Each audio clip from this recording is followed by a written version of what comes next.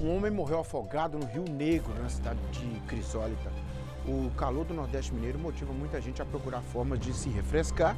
Isso pode terminar em tragédia. né? Nesse caso, a vítima avisou para a família que iria pescar. Fantoni está de volta aqui, vai contar para a gente esse caso. É triste, né, Fantoni? A gente está falando da questão de calor, esse clima estranho. A pessoa vai para o rio para se banhar. Nesse caso aí, vai para pescar e acaba é, morrendo vítima de afogamento. Você vai contar sobre isso. Muito bem, Nicomedes. O Sebastião Soares Pereira, de 56 anos, é a vítima fatal desse afogamento. Vai aqui os nossos sentimentos à família. E segundo informações, o Rio Negro, ele é um rio que ele tem uma profundidade muito variada, o que isso é, se torna um risco às pessoas.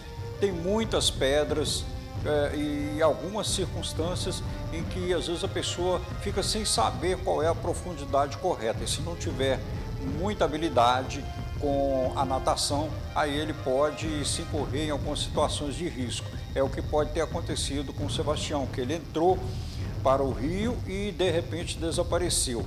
Ele foi resgatado por populares e infelizmente não foi possível salvar a vida dele. O Corpo de Bombeiros, Nicomedes, tem uma campanha permanente de prevenção a esse tipo de acidente. Por quê? Esses três últimos meses do ano e os dois primeiros do ano seguinte, eles são muito, são muito incidentes aos acidentes por afogamento. Porque o calor é muito forte, as pessoas vão tomar banho, vão utilizar rio, lagoa, cachoeira, até mesmo piscina, ou até mesmo uma piscina dentro de casa.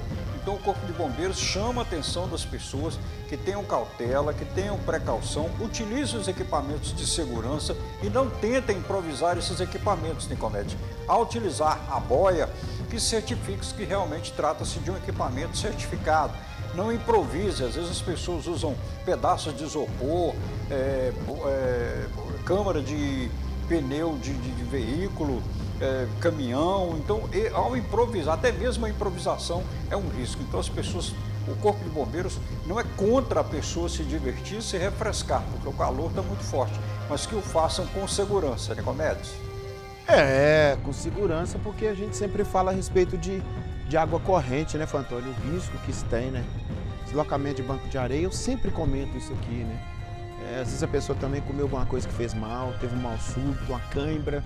Tudo isso pode levar a pessoa a sofrer esse problema de afogamento. Obrigado, tá, meu amigo?